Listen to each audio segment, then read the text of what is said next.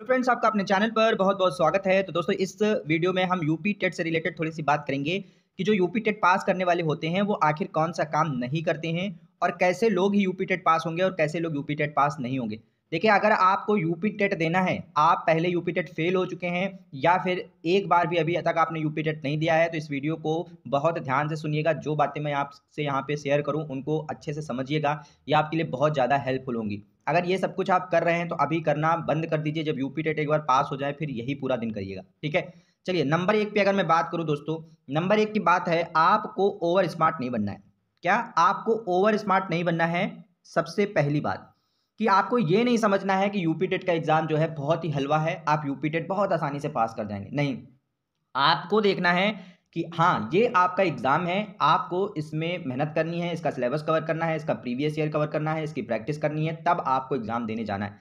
तो कहीं भी आपको ओवर स्मार्ट नहीं बनना है, क्योंकि लोग इतना आपको मिलेंगे कि पंद्रह दिन में यूपी टेट कैसे पास करें, नौ दिन में यूपी टेट कैसे पास करें, साढ़े आठ दिन में यूपी टेट कैसे पास करें, पौने तीन दिन में यूपी टेट कैसे पास करें, ऐसे वीडियोस आपको भर भर के मिलने वाले हैं और आप अपने आप को थोड़ा भी ओवर स्मार्ट समझते हैं। क्योंकि देखिए जिस एज में आप टीचिंग एग्ज़ाम की तैयारी करते हो, आपकी एज कम नहीं होती है। आप अपने आप को बहुत ओवर स्मार्ट समझते हो कि यार सामने वाला हमें क्या पढ़ाएगा? मैं खुद ही इतना वो हूँ। तो ये सब कुछ करना बंद कर दीजिए। आपका अगर एम यूपी टेट है तो कोई किताबें उठा लीजिए या किसी के चैनल को पकड़ लीजिए, उसने इतने सालों से वो पढ़ा रहा होगा, उसके पिछले वीडियोस देख लीजिए और अपना काम करते चलिए, ठीक है? नंबर एक बात।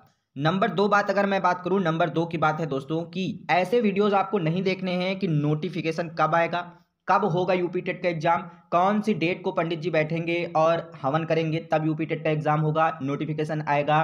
पंडित जी आ चुके हैं, ऐसे वीडियो आपको नहीं देखने। अगर ऐसे वीडियो आप देखोगे तो एक दिन ऐसा होगा कि आपके सामने नोटिफिकेशन आ जाएगा और आपकी तैयारी बिल्कुल ज़ीरो होगी और नोटिफिकेशन के बाद फिर आपके पास इतना प्रेशर रहेगा, आप इधर उधर भटकते रहेंगे और आपकी एक परसेंट की भी तैयारी नहीं हो पाएगी। फिर लास्ट में वही आप ज़बरदस्ती मैराथन देख देख करके वहाँ जाएँगे, फिर एक नंबर से रह जाएँगे, दो नंबर से रह जाएँगे या फिर सीधे सीधे पचास नंबर से रह जाएँगे। तो इस बात पर आप ध्यान रखिएगा। तीसरी बात अगर आपसे बात करूँ कि तीसरी बात आपको कौन सी नहीं करनी है, नंबर तीसरी बात यह है कि आपको ये कभी नहीं सोचना है कि यूपी टेट के एग्ज़ाम में या किसी भी एग्ज़ाम में सेटिंग वाले आपसे ज़्यादा नंबर लाएँगे। ये भी आपको चीज़ नहीं सोचनी है, क्योंकि आजकल सबसे ज़्यादा यही चल रहा है, सबके दिमाग में यही रहता है कि जिनकी सेटिंग होती है वो आपसे ज़्यादा नंबर ले आते देखिए, अगर आपके हाथ में है इन लोगों को रोकना तो आप ऐसी चीज़ सोचो, ठीक है? जिसका वो काम है, वो तो करेगा ही करेगा भाई। वो अपना काम कर रहे हैं, आपका काम क्या है? आपको मेहनत करके इनके बराबर आना है, या फिर इनसे ज़्यादा। ठीक है? इनको रोकने का काम किसका है? सरकार का है, पुलिस का है, जो भी इनको रोकता है, काम उनका है। आपका काम क्या है? पढ़ना। अगर ये चीज़ आप अपने माइंड में ले आए, अगर आज आप ये चीज़ अपने माइंड में लाए, कम से कम चार से पाँच दिन आपकी पढ़ाई पूरी तरीके से सुहा हो जाएगी और आप पढ़ना बंद कर दोगे। तो नंबर तीन पे दोस्तों, इस तरीके के वीडियोस बिल्कुल देखना बंद कर दीजिए। ठीक है? मतलब इस तरीके से सोचना भी बंद कर दीजिए। नंबर चार की अगर मैं बात करूँ, नंबर चार वाली बात यह है कि नंबर चार आपको एक चीज़ बहुत अच्छे से ध्यान देना है कि हर दूसरे दिन, और हर तीसरे दिन, हर दूसरे दिन, तीसरे दिन आपको अपनी तैयारी का पैटर्न नहीं बदलना है। आपको ऐसे वीडियोस नहीं देखने हैं कि कैसे तैयारी करें, कौन सी किताबें पढ़ें, ऐसा कुछ नहीं। जो किताब आपके पास पढ़ी है, पहले उसको पूरा कवर कर लीजिए, ठीक है? चाहे जो किताब आप लेकर आए हो, पहले उसको कवर कर लीजिए। किसी के चैनल से आपने कोई सीरीज़ देखना स्टार्ट की, उसकी प्लेलिस्ट बनी हुई है, कोई सीरीज़ आपने देखनी स्टार्ट करी, पहले उसको खत्म कर लीजिए। उसको खत्म कर लीजिए, फिर देखिए आप यूपी टेट में कितनी दूर खड़े हुए हैं, कितना आपको आता है, कितना नहीं आता है। तो ये चीज़ आप बहुत करना बिल्कुल बंद ही कर दीजिए कि आज आपने सोचा कि इस तरीके से पढ़ाई करेंगे, कल फिर आपको किसी ने बता दिया कि इस तरीके से पढ़ाई करना स्टार्ट करिए, परसों फिर किसी ने आपको कुछ बता दिया, आप डेली वही मतलब अपनी पढ़ाई बदलते ही रह रहे हैं। इसके अलावा अगर मैं बात करूँ दोस्तों, इसके अलावा मैं बात करूँ नंबर पाँच पे। नंबर पाँच पे मैं बात करूँ दोस्तों तो सिलेबस को कवर करने से ज़्यादा, अगर आप सोच रहे हो कि यूपी टेट का जो नोटिफिकेशन आता है या फिर सामने वाला जो आपको सिलेबस बताता है, बस उतना ही पढ़ करके आपका यूपी टेट का एग्ज़ाम निकल जाएगा। तो इस सिलेबस के चक्कर में कभी भी आप अपनी प्रैक्टिस करना बंद मत करिएगा। बहुत से लोग ऐसे होते हैं, बहुत से लोगों को मैंने देखा है, बहुत से लोगों को मैंने सुना भी है बात करते हुए। वो क्या कहते हैं, वो लास्ट में पाँच दिन पहले क्या है, कहो बुक डिपो पे आ जाए, बोले, मुझे प्रीवियस ईयर की एक बुक दे दो इस एग्ज़ाम की। मैं सीटेट की बात करता हूँ सीटेट में मैंने सुना था कि मुझे प्रीवियस ईयर का दे दो। तो मेरे मन में आया, मैंने उससे पूछ दिया कि अभी प्रीवियस ईयर नहीं लगाएगा बोले, नहीं, मैं तो अपना सिलेबस कवर कर रहा था, अभी तक यार मैंने प्रीवियस ईयर नहीं लगाया, मेरा इस डेट को एग्ज़ाम है। अब देखो आप।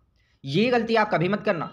बेशक आप एक दिन सिलेबस की चीज़ें पढ़ लो, दूसरे दिन आप थोड़ा सा प्रैक्टिस कर लो, या कोई एक प्रैक्टिस सेट आपके पास होना चाहिए, या किसी चैनल से आप जुड़े हों जो आपको प्रैक्टिस सेट करा रहा हो प्रीवियस ईयर प्रीवियस ईयर ज़रूर लगा के जाइएगा। पिछली बार देखो, इतनी बड़ी गलती की थी लोगों ने कि प्रीवियस ईयर नहीं लगाया था और 2017 का ही पेपर दे दिया था। बहुत से लोगों ने उसका विरोध किया 2017 का पेपर है, इसको हटाओ, ये वो, कुछ हुआ? कुछ नहीं हुआ। जो प्रीवियस ईयर पढ़ के आया था, वो बढ़िया पास हो गया।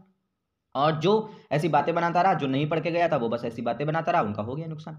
तो मैंने लगभग ये चार बातें आपको दोस्तों अभी बताई है बीच बीच में मैं आपको ऐसी चीज़ें बताता रहूँगा, क्योंकि इसी तरीके से आप लोग भटकते हो, आपका मन इतना मतलब इतना, अब मैं कह नहीं सकता हूँ, आप टीचिंग लाइन में जाने वाले हो, आपके मन का मैं कहीं नहीं सकता हूँ। ऐसे वीडियोस पे आप भर भर के इतने कमेंट करते हो, इतना वीडियो देखते हो कि कोई आपको सामने से कुछ सरल तरीका बता दे। बस सरल तरीका बता दे कि पाँच दिन में सो करके कैसे यूपी टेट पास कर जाएँगे, फिर आप लोग इतना उसके पीछे भागोगे, इतना उसके पीछे भागोगे कि कुछ पूछने को नहीं। अब मैं भी ऐसे वीडियोस बनाऊँगा थंबनेल में ऐसे लिखा करूँगा थंबनेल में मैं ऐसे लिखूँगा बिना पढ़े यूपी टेट कैसे करे पास? ऐसे लिखूँगा, बिना पढ़े यूपी टेट कैसे करे पास? रजाई में घुसे रहते हुए भी कैसे करे यूपी टेट पास? ऐसे वीडियोस मैं भी बनाऊँगा। पढ़ाई तो कराऊँगा ही कराऊँगा, साथ में पढ़ाई वाले वीडियो बनाऊँगा, लेकिन ऐसे वीडियो खूब बनाऊँगा।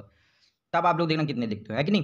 तो मैंने ये जो चार चीज़ें बताई है, इनके लिए आप ज़रूर करते रहिए। ये चीज़ें आप कर लीजिए, वरना यूपी टेट में आपको दिक्कत हो जाएगी। अभी देखो सीटेट का एग्ज़ाम हुआ है, अब सीटेट के एग्ज़ाम में क्या चल रहा है क्यों सीटेट में नंबर कम आए?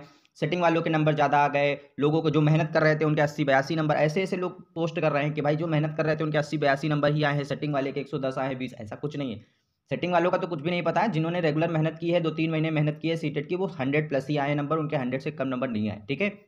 जिन्होंने बीच बीच में छोड़ दिया, कोई दूसरा काम करने लगे सीटेट को हल्के में ले लिया एक दो सब्जेक्ट पढ़े ही नहीं, खाली एक दो ही सब्जेक्ट पढ़ते रहे, उनका ही सीटेट थोड़ा सा गड़बड़ हुआ है, बाकी सभी पास हो गए हैं, ऐसा कोई नहीं है जो पास नहीं हुआ ठीक है?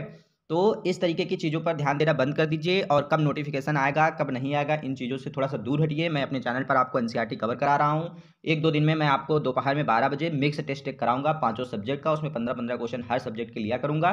सारे प्रीवियस ईयर पहले कराऊँगा, फिर मोस्ट इंपॉर्टेंट क्वेश्चन की प्रैक्टिस कराऊँगा, वो भी करना शुरू कर दीजिए टेलीग्राम चैनल से जुड़ जाइए, वहाँ पे आपको मैं नोट्स भी देता रहूँगा तो बस साथ में जुड़े रहिए, दो तीन महीने जब तक आपका एग्ज़ाम नहीं होता है, मेहनत करते रहिए, आपका यूपी टेट आसानी से निकल जाएगा।